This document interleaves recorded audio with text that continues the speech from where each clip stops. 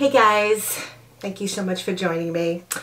I'm going to talk about a couple of things that I bought because I have my Mohs surgery finally scheduled and I guess I've been like freaking out about it a little bit so I'm probably over preparing but so I bought a couple of things for that and then just a few other things that I'm going to talk about. It's going to be a short video and uh, I hope you join me. Stay tuned.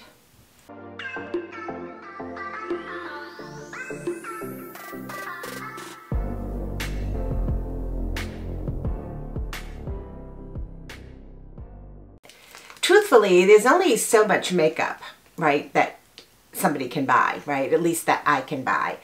I don't I'm not running to the Sephora sales or the Ulta sales or, you know, just running and spending a ton of money on makeup or skincare. I'm just, you know, basically using my tried and true.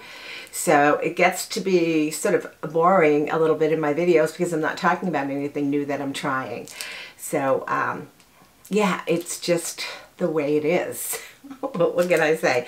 Anyways, first off, I have bought a couple of things. I was on a hunt last year, and I don't know if I had mentioned this to you, and I don't know why I didn't think to look on Amazon for this.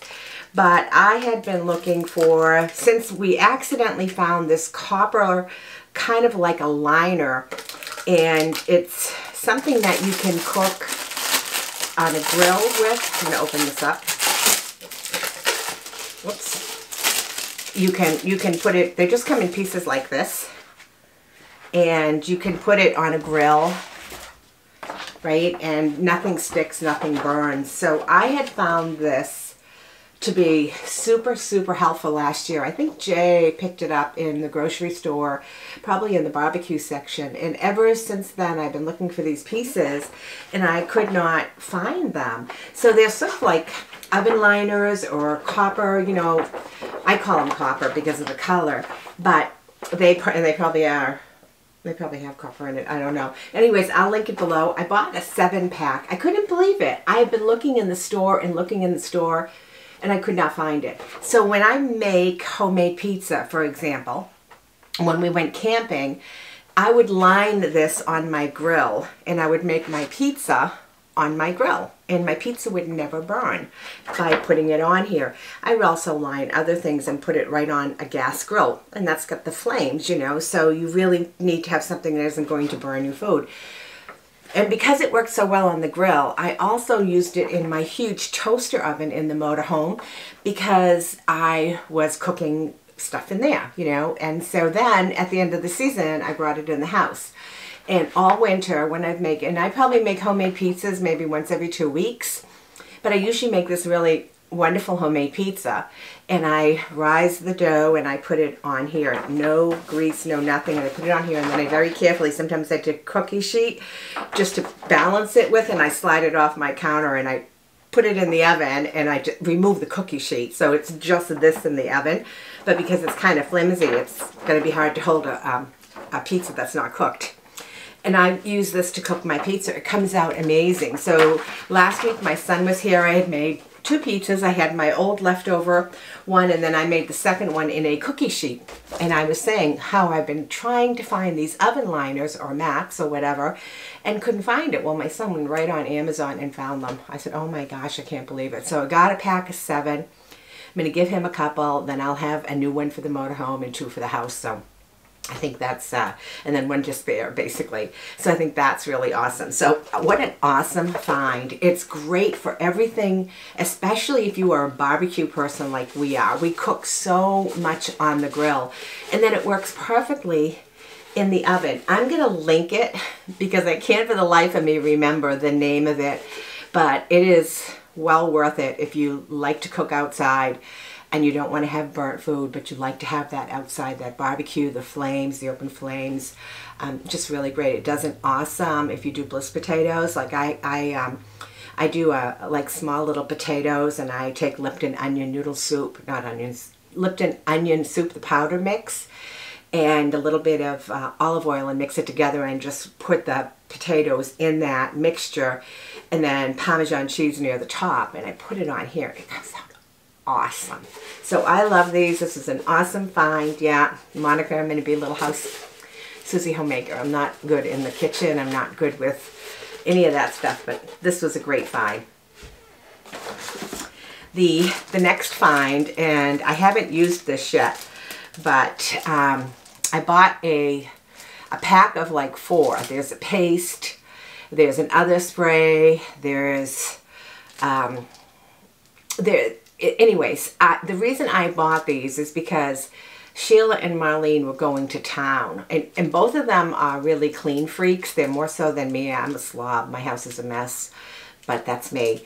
But both of them are really into, you know, the nice, bright, shiny, clean looking house. So um, they were talking about this, the pink stuff. Gosh, I've never heard of the pink stuff. But again, like I'm not really into all the cleaning stuff, right? So they kept going on and on raving about the pink stuff. And I said, I'm going to have to try this pink stuff. So I ordered like a multi-pack with a couple of different things. And um, so I haven't opened this one yet. This is the bathroom foam cleanser, cleaner. And I'm going to really looking forward to using this in my motorhome in the, the shower stall. And also I'm going to use some of this inside in the refrigerator. It's hard surfaces, but it's supposed to be phenomenal. So that came in this week along with my oven liner thing. And I was like, yes, I was so super happy. So um, my Mohs surgery is scheduled for June 1st. And um, I know that's a ways away still, but I was I'm really nerved up about it for whatever reason, and uh, it, it's gonna I'm gonna have the extraction I guess? I don't know what you call it right? Where the the surgeon is going to go in and remove and then they do the Mohs procedure and take as much as they have to to get clean margins. And then later that day not not right at the same time the plastic surgeon will come and do his bit a couple of hours later because they don't really know how long everything's going to be and they've got patients and it's kind of hard trying to get the two of them to coordinate one day procedure so I'm really lucky I got a one day procedure and instead of having to go back the next day or whatever so they that's scheduled for June 1st and they've already told me some of the things that I need to be you know preventive on. I need to and I know I'll probably end up having to have band-aids and stuff like that and that kind of got me thinking about a medical kit you know and it got me thinking and I said well I want to get a medical kit. I want to think about this. So I started to research a little bit more on Mohs surgeries and I found a YouTuber and I'll link her channel. She had a really great description of everything that she went through for her Mohs surgery.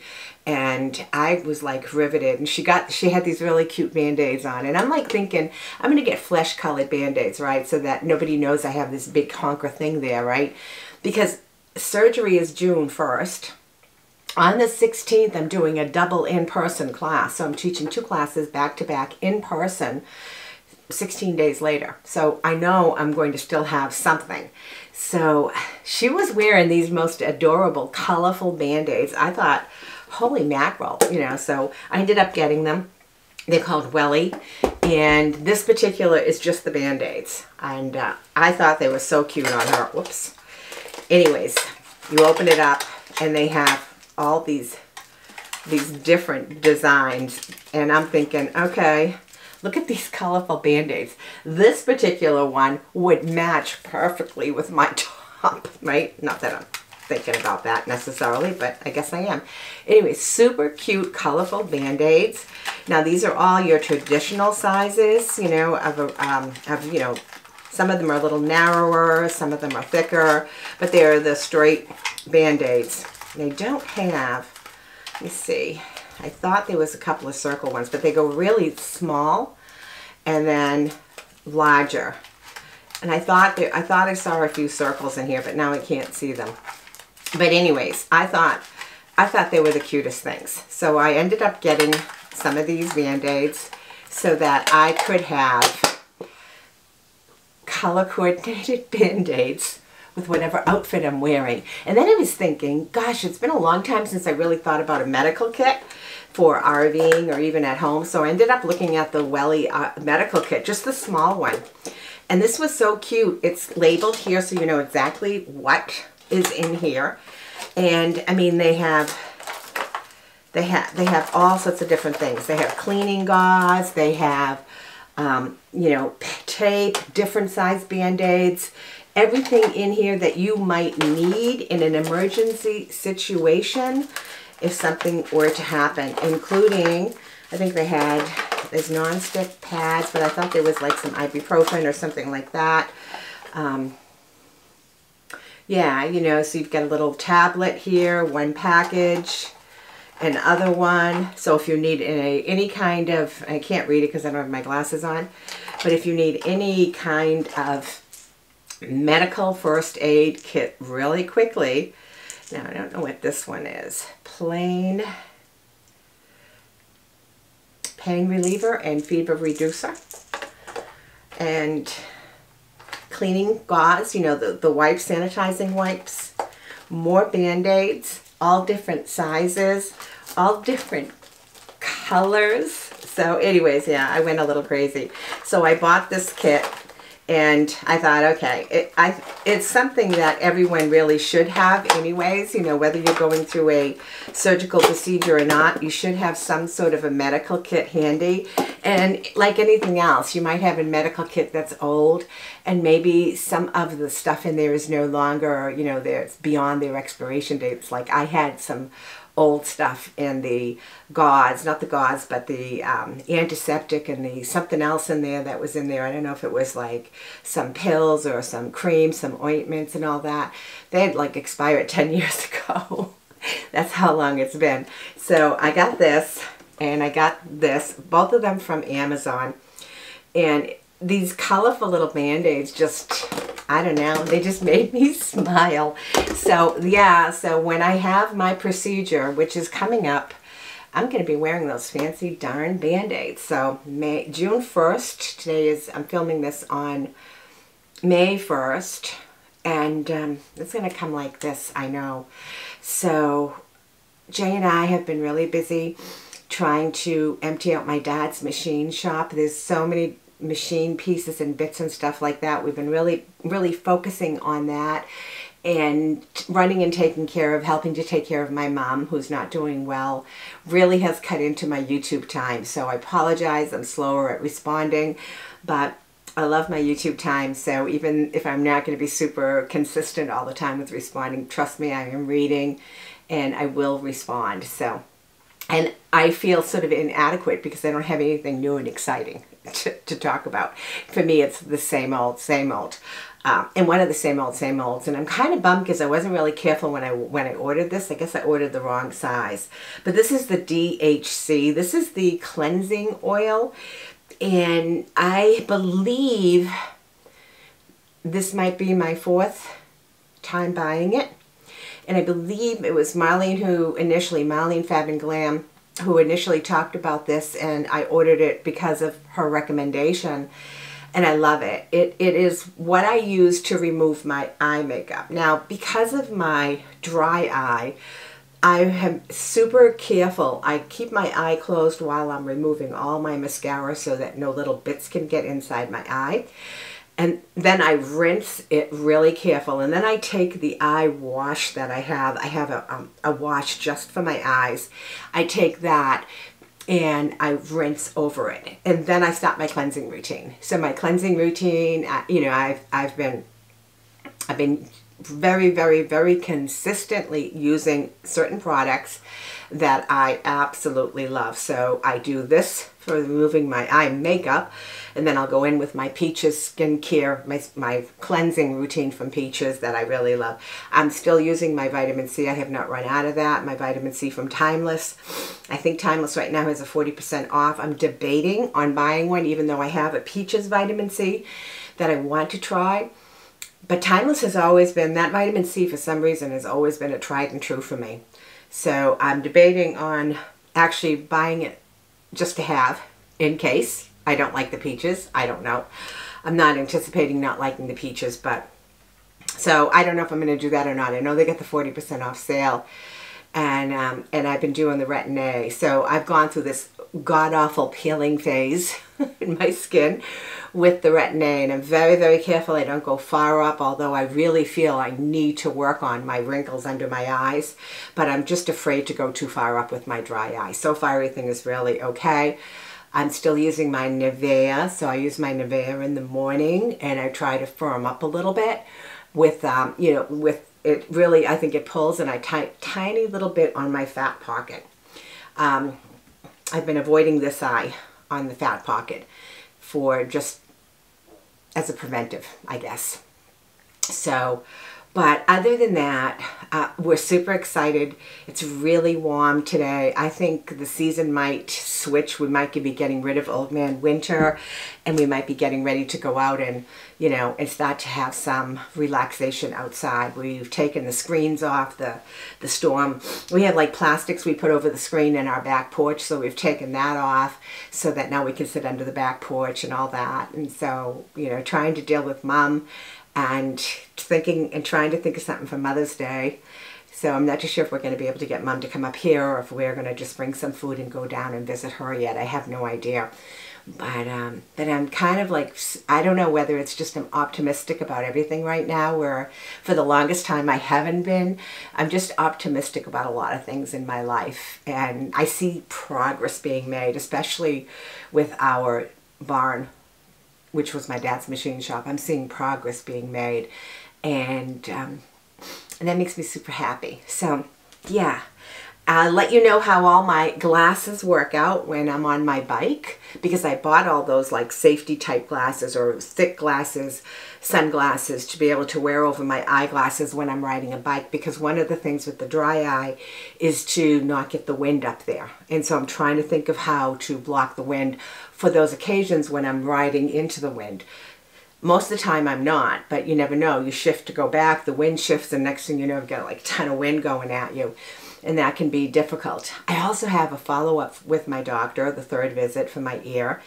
I thought I blew out my ear graft. I have a cold and I'm not supposed to blow my nose. I'm not supposed to cough. Well, you know, how can you prevent that, right? And um, I had blown my nose and I heard this big pop and I went, oh, caca. I, I blew it out. I don't think I did, but I thought I did.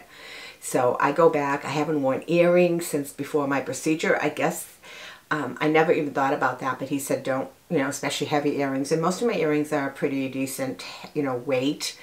And so I haven't worn any earrings. I feel naked when I'm walking around without my earrings.